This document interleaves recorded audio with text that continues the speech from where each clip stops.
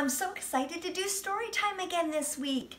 I have a very special book. It's got amazing illustrations. The same person that did the illustrating, which is drawing the pictures, wrote the book too. His name is Graeme Base, and he's from the country or the continent of Australia. It's called The Water Hole. Are you ready? Let's get started.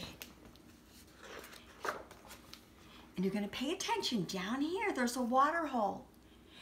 And it's gonna get smaller. And you see it's cut out in the shape of an oval. Okay. One rhino drinking at the water hole.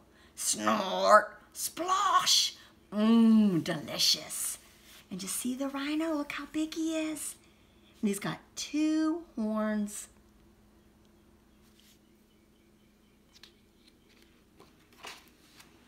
two tigers lapping at the water hole. Grrr, goodness gracious, how very delectable. Oh, look how beautiful these tigers are. They're fierce. They're drawn amazing. Look at that. You can see the teeth. Great artwork. Three toucans squawking around the water hole. Ark, ark, ark. It's time, fellas, drink up. But something was happening. You see this? Our water hole was getting smaller on each page. Keep an eye on it. Four snow leopards gazing at the water hole. Purr. Hmm, we must be careful, brothers. The pool was getting smaller. They're looking at it, and that's their drinking water, and they're watching it get smaller. Five moose wallowing at the water hole. Moo, moo, moo! Hey, get your hoof out of my ear. See, all five moose are trying to get to the water hole, but it's not very big, so they're stepping on each other. You see this moose back here? So we have one, two, three, four, five. And our drinking, our drinking hole, the water hole was getting smaller. Six catfish floundering in the water hole. Blub, blub, blub, blub, blub.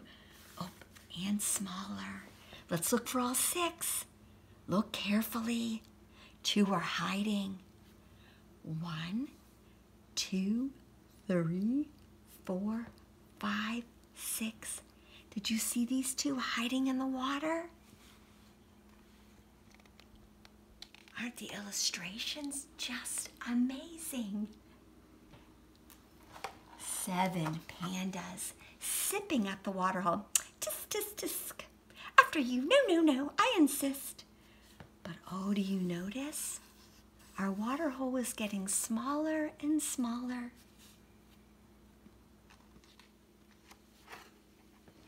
Eight ladybugs meeting by the waterhole.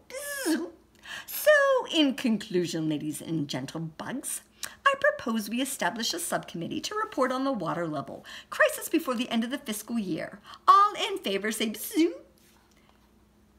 And there's eight ladybugs.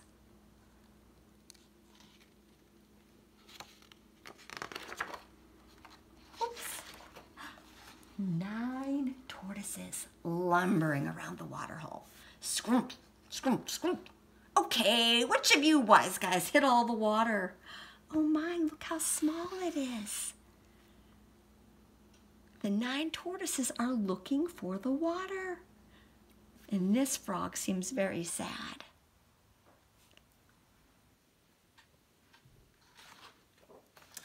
Ten kangaroos looking at the water hole. There was nothing to say. The water was all gone. Where's all the water? It's all dried up. Oh, those kangaroos are looking sad. And all the animals went away. All the water had dried up, so they didn't have anything to drink. So the animals all went away. Let's see what happens. Then a shadow fell across the sun. Clouds began to gather. A single drop of rain fell. You see the rain droplet?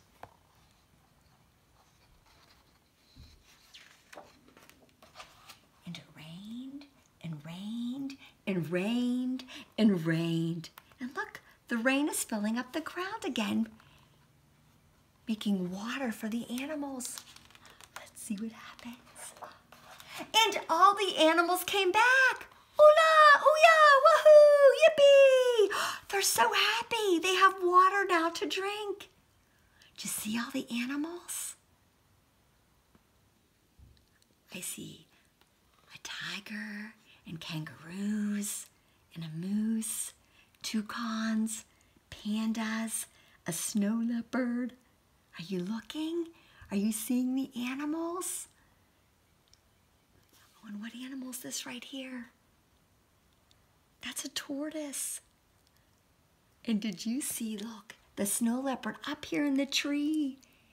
He's sleeping with his paws over each side of the tree limb.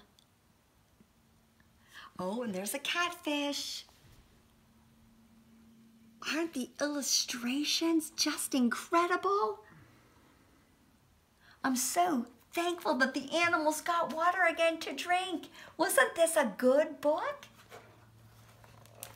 I hope you enjoyed it. I look forward to seeing you next week when we read another book together. Bye, guys.